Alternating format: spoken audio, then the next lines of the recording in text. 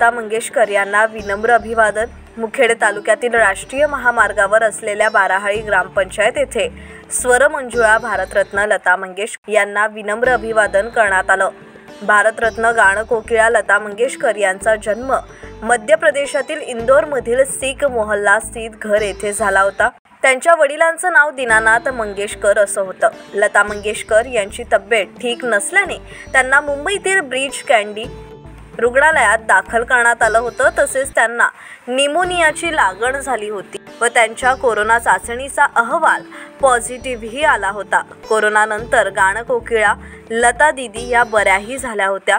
निमोनियाची लागण झाल्याने त्यांच्यावर रुग्णालयात उपचार सुरू होता.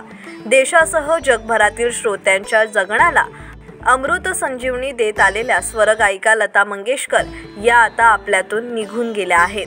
आपल्या मंजूळ स्वरांची मोहिनी टाकत अख्ख्या जगाला मंत्रमुग्ध करणाऱ्या गायिका व भारतरत्न पुरस्काराने सन्मानित लता मास्टर दीनानाथ मंगेशकर यांची सहा फेब्रुवारी दोन हजार बावीस रोजी प्राणज्योत मालवली. यामुळे बाराहाळी ग्रामपंचायत येथे लता मंगेशकर यांच्या प्रतिमेला पुष्पहार अर्पण करत त्यांच्या आत्म्यास शांती लाभो याकरिता दोन मिनिटाचे मौन पाळण्यात आले. या प्रसंगी बाराही नगरीचे सर्वांचे चाहते माजी सरपंच राजन देशपांडे उपसरपंच व्यंकट वळगे यांनी लता दिदींना पुष्प अर्पण केले.